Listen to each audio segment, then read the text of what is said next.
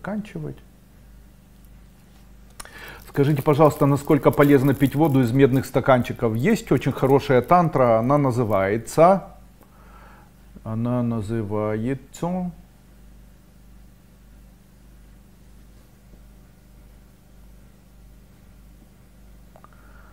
она называется Вашикаран, точно, Вашикаран. Тантра Вашикаран. Тантра Вашикаран лечение медной чашей. В медной чаше внутри пишется мантра. Обычно это мантра, которая связана с огнем. Мантра огня это мантра савитур. Он бурбуа свахата савитур вареньем баргудова седматидую на прочудаят. Что на русский язык переводится как пусть все плохое в огне савитура сгорит.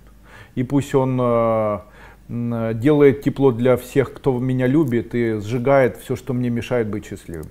Ну и такая мантра пишется. Ее можно найти, она называется Гаятри. Ом бхур бхувах свахата цавитур вариньям баргодова седемахидию на прочет даят.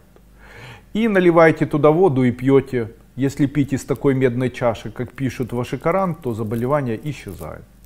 Какие есть еще методы, которые могут помочь человеку избавиться от заболеваний Э, вот, допустим, сейчас собирается дождевая вода, она собирается та, которая идет ночью или на восходе солнца, и варится яйцо в кожуре одно, после этого делается три дырочки в этом яйце больших, выносится на муравейник, ложится на этом муравейнике и произносится, пусть яйцо исчезнет вместе с выздоровлением такого-то, такого-то человека. И человек уходит, но здесь главное, чтобы с ним никто больше не здоровался и не общался.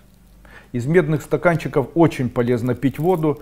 Наша печень нуждается в меди, потому что э, при создании гепацитов участвует, э, э, участвует минеральное вещество медь. При переизбытке меди развивается заболевание печени, называется болезнь Коновалова-Вильсона. И это при переизбытке, но тоже ну, редкое очень заболевание при отравлении медью. Ну, так не бывает практически. И при недостатке развивается энцефалопатия. Уже доказано, что почему аргинин, э, аминокислота, э, в аргинине находится какое-то количество меди.